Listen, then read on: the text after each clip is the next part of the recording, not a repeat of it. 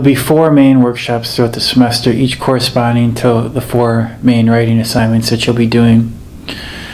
The workshops break down like this. On Monday, you'll submit your rough draft to the workshop Dropbox.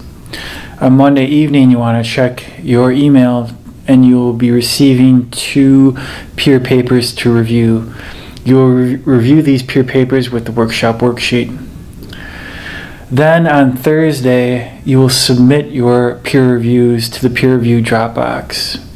You want to make sure to get those in on time so that the students, the original owners of those papers, uh, have the weekend to, at least in part, use your comments to help uh, compose a final draft.